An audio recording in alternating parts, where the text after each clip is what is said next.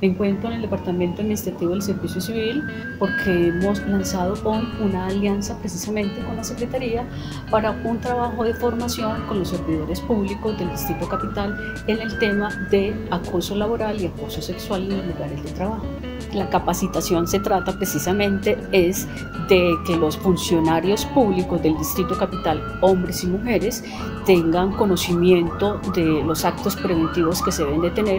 para la violencia en los lugares de trabajo, como tiene que ser el acoso laboral y el acoso sexual, que se vienen dando en los lugares del trabajo masivamente. Eh, la capacitación comprende, eh, habla de la, del decreto 044 de 2015, el cual el, comprende estas normas y las normas internacionales, los convenios de la OIT y la jurisprudencia actual que tiene la Corte Constitucional y la Corte Suprema de Justicia, que, donde han avanzado en el tema de los derechos humanos y la dignidad de la persona como servidor público o trabajador.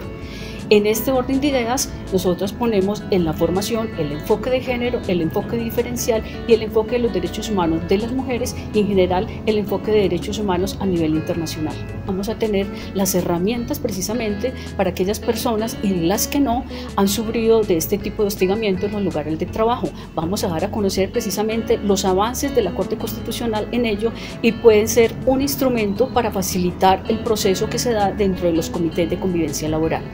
Este taller es teórico-práctico porque estamos desarrollando aquí un taller práctico realmente con todas las personas que llegan para desarrollarlo dentro de la capacitación.